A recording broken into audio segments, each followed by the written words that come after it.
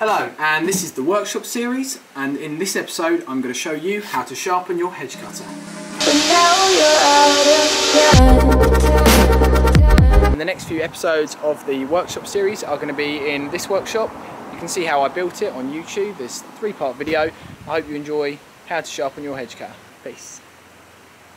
Okay, let's get started. This is my hedge cutter. This is the hedge cutter I'm going to show you how to sharpen today. On this hedge cutter it's very dull, um, it needs needs a good sharpening. Can still cut through hawthorn and things like that, but when you're doing neat jobs like conifers, shaving the sides, you need nice sharp teeth for that. So,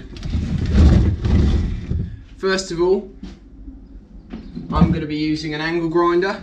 Got a sanding disc on this angle grinder.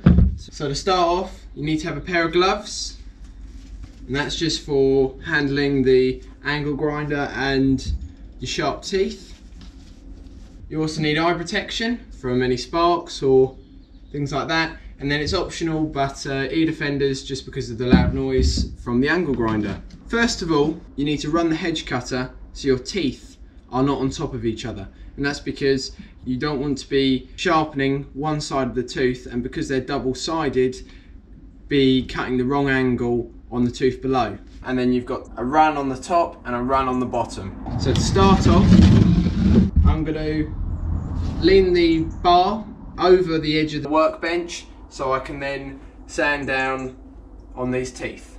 So you want to make sure you get the same angle that is already on these teeth and just brush it because you don't want to go too hard in because you want to keep the teeth there, you don't want them getting too thin, but you just want to neaten them up and get that sharp edge back. So remember, stick some gloves on, eye protection, and ear defenders. I want to run it and very gently brush the teeth very lightly.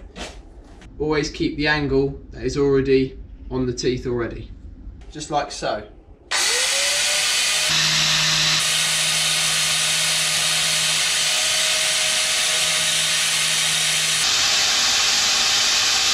You can see where it's much more shiny on the teeth where I've sharpened them along just brushing that edge off and then I'll be doing that on the same side there. So I'll run on this side first all the way down and then do the same on this tooth here all the way down and then that's both that side done. Then I'll do turn it over and do the opposites and then I'll have to run the hedge cutter to get those teeth to swap sides so then we can get this inside part here. Also on a lot of hedge cutters, if you've got these guards, you'll need to take them off. There's three bolts that you'll need to loosen, take the tops off, and then you can remove the guard to then continue sharpening. And once you've removed those three bolts, guard should just slip off, just like so.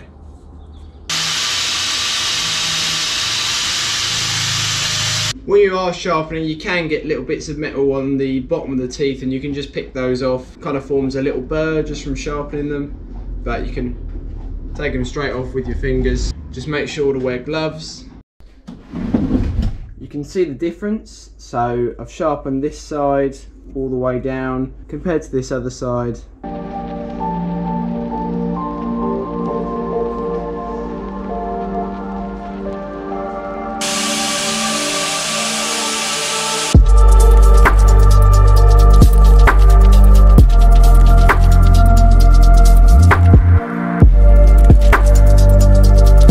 That's all the teeth sharpened now. Once you've sharpened it, you can give it a bit of a clean and also I'd recommend to put some WD-40 on it just as a bit of a service for it and then you'll be good to go. And that is how you sharpen your hedge cutter with an angle grinder. Thank you for watching the workshop series.